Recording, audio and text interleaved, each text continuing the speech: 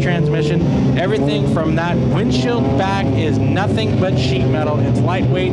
Going through this front straightaway, this is going to be the part of the track where you're going to be flying foot to the wood, pinned down throttle, and that front end's going to want to push out. Now, what the problem is, is going down into turns number one and two, like you see the field doing right now, that back end's going to want to slide out when you tap the brakes because that back end of the car literally will lift up off the ground and you're going to be trying to counter steer that whole corner. The whole, the most treacherous spot on this racetrack is right in front of you, folks. This tri-oval, it gets tight, it gets very tight, and if you catch one of those tires, your day can be done. Make some noise as we get ready to go green for Night of Destruction.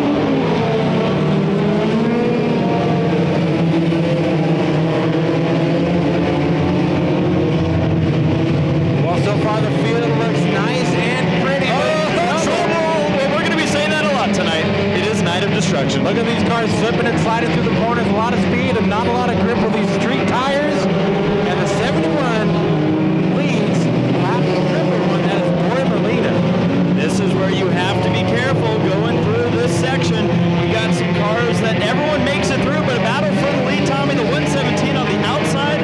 Look at that nice Celica. Oh, we're going to go three wide here on the front straightaway. Three It wide gets for tight. the lead, and Hudson with that move to the outside, the 117. Michael Hudson leads lap number two.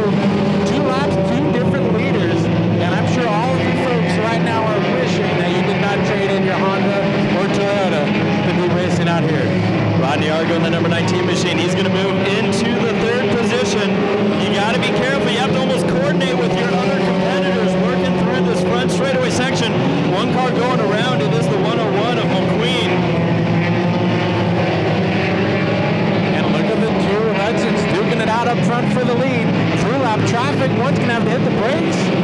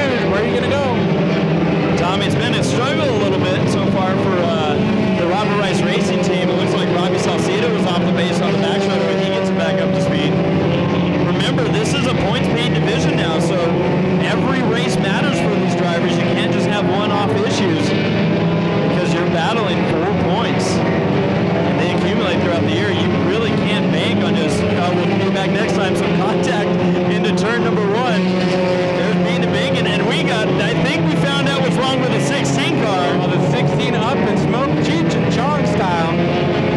Up in smoke on the front straightaway, so he had issues and he figured it out. Blown up motor out of the 16 of Salcedo. Now, I gotta say, so far, these drivers have been behaving here on the front straightaway, Tommy. Have a lot of give and take, but as the race goes on, that's gonna go away. A couple three wide through turns number three and four. Plenty of room through the corners, but not when you get to the fin start finish line. Because we are 12 laps in, closing in on halfway. So this is your leader going in down the front straightaway in front of you folks right now.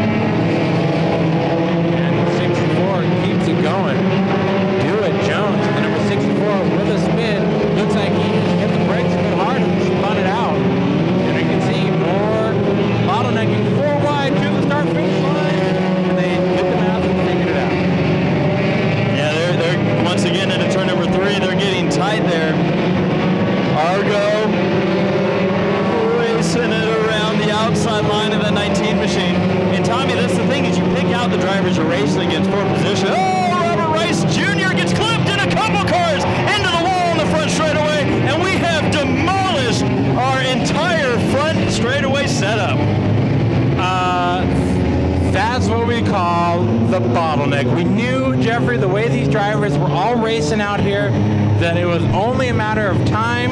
They're- We've they're- got cars littered all over this I, racetrack. I think the Celica's going Oh. to go talk to the number 50 machine on the back straightaway right now. Molina and the number 71. Boy, Oh, and Robert Rice is going to get involved. We just, and now we're at the point, Tommy. It only took one race for us to have everyone mad at everybody. it's a points-paying NASCAR division. So Robert Rice Jr.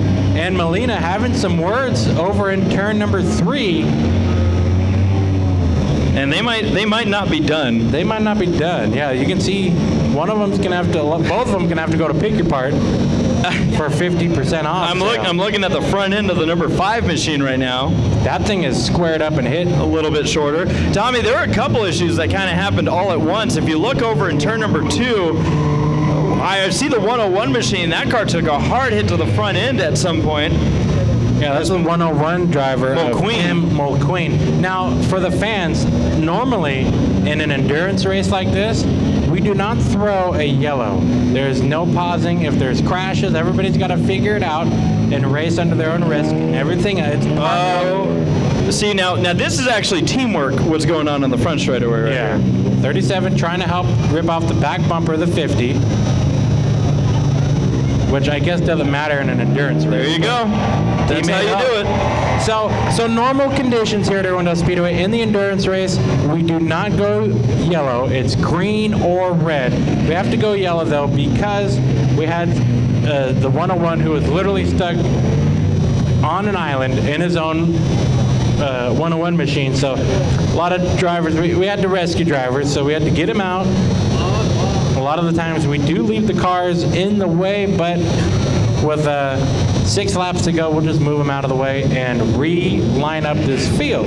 You'll notice over in turns three and four, the number 79 machine, I don't know if that driver was involved with the 101's issues, but John Bridger looks like that car shut down. Now, is it me, Tommy, or did the Celica add himself to the to the Dr. Danger pile? You know, that would be a great place to park any other day but today. I don't. Any I don't. other day but today. That's that's not the best parking spot.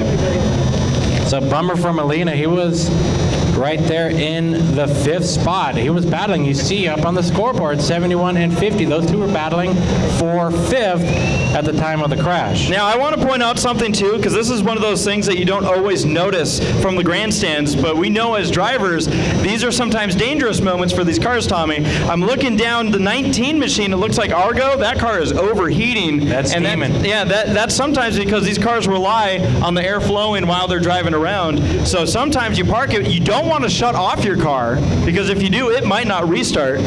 Are we, are we, it looks like those cars at least moved from their parking spot. Yeah, I think they heard us. I think they knew that today was not the day to park next to others. Mike Atkinson helping us out with the forklift. Re- Wow, look how messed up that 71 machine. Can we get a round of applause for some of these Night of Destruction competitors? So just to put into perspective, fans, for those of you that came here for the first time, you and I, Jeffrey, we race out here, and a lot of these other competitors, that 71 machine, he probably spent a good 40 hours at least on that 71 machine, and it only made it 24 laps. So he's going to spend a lot more time just to get that thing fixed back up, to tear it up again on the next night of destruction. That's right. Well, Tommy, I see Lugnut. I see Lugnut Jr. down there. Who wants a T-shirt? Make some noise. He's got that cannon ready.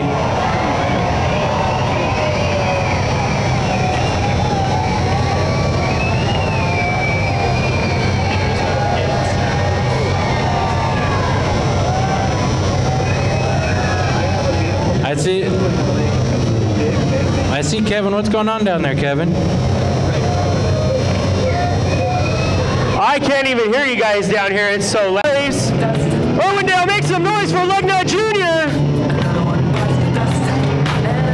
well, most of the cars are looking okay, but Tommy, we got a couple cars that do not look very good right now. A couple of them have some bad habits, some smokers out there, and then we also got uh, that 37's really smoking on the back straightaway. Then we got our, 11, our number 11 machine, who's getting the help from Jan's Towing up off that racetrack, and we still got ourselves six laps of duking it out. The field looks super antsy to go. Hey, folks, also acknowledge this cameraman walking right in front of you. You're on TV.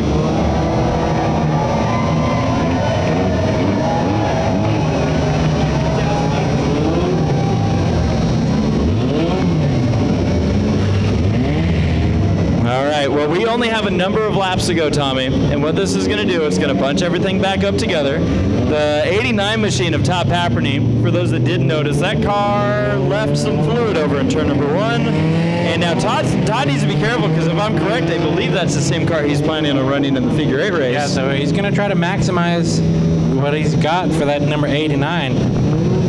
And the 99 also off as well. Cole Schmidt in the number 99 from Alta Loma. Looks like we're, so what's going on right now is the field getting lined back up. A couple of lap cars in between your top two, the 17 in the lead right now from Garden Grove. That's Daniel Hudson, and then you got two lap cars in between. And we got the one, number 117, who's running in second, Michael Hudson. They're gonna have Michael, you know, the odd man out, if you will. He's gonna have to deal with some lap traffic.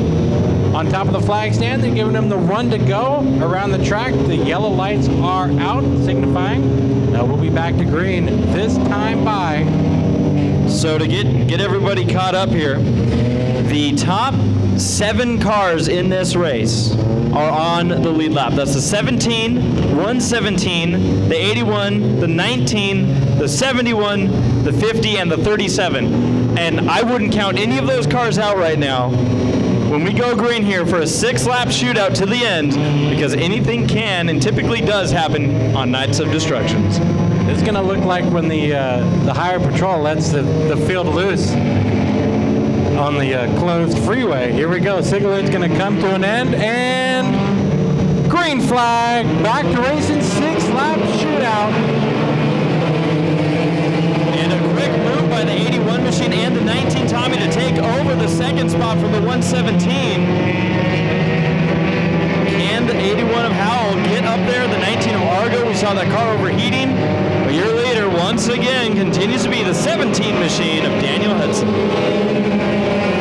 We got him stacked up coming to the bottleneck. Good, clean fun right there. Sideways was the 04 the station wagon, Holiday Road. A lot of people he can fit in there. A lot of transponder. Tommy, the 117 machine seems to be, uh, at least was having some issues out of turn four. Looks like it's back up to pace, but the 19 car is definitely still smoking. Can these cars make it to the finish? That's going to be the question. The race winding down. It is a race of attrition. These cars are all going to be bubbling over, boiling hot. The coolant, the brakes, the tires, everything. And these cars are hoping to try to make it for the next three laps. And then they just get to go in the pits, change out the tires, and do it all again. Then the skid plate and or the oh,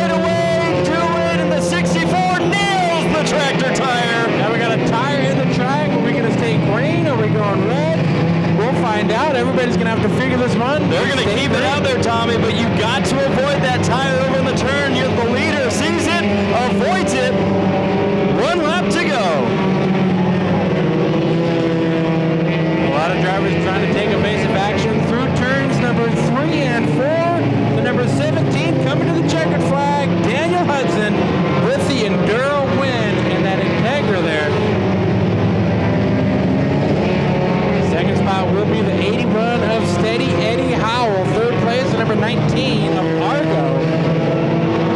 And a lot of work these drivers are going to have to do to get these cars cooled down and into the next event coming up in just a little bit. That'll be our figure eight race to the next racing class on the track. Ladies and gentlemen, are you enjoying your night of destruction? That's what I like to hear right there. Well, if it makes anyone feel any better, that was the calm one of the night. Yes, that was. And uh, I wouldn't leave your seats too quickly. We're going to do our post race interviews. And then uh, I see on my schedule, the next thing coming up here on Night of Destruction is it says right here Dr. Danger Blow Up. That doesn't sound very nice. That's just I'm just For- reading I'm just reading what it says. For Dr. Danger. Some guy named Dr. Danger is probably not going to be uh, enjoying the breeze for much longer.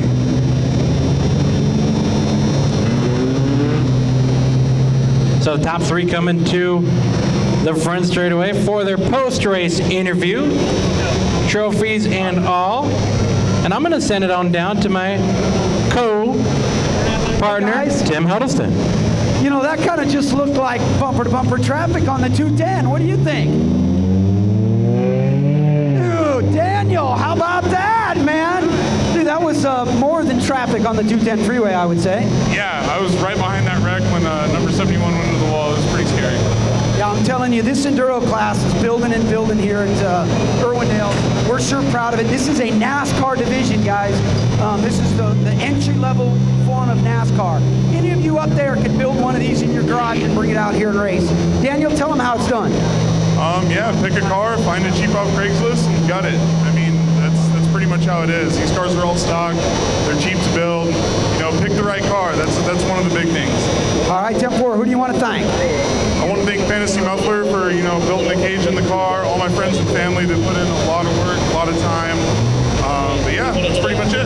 Yeah, Daniel, congratulations. Great job.